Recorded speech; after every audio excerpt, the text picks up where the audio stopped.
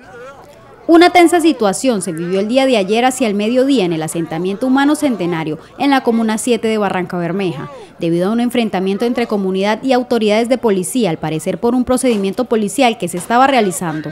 En el proceso se logró la captura de dos personas, la incautación de un arma de fuego modificada, más de 150 dosis de estupefacientes, entre otros elementos. El comandante de operativo del Departamento del Magdalena Medio se refirió al hecho. Se realiza un procedimiento policial en el asentamiento humano del centenario Allí se realiza la captura de dos personas. Igualmente, se realiza la incautación de un arma de fuego modificada, más de 150 dosis de estupefacientes, una gramera, eh, bolsas para dosificar.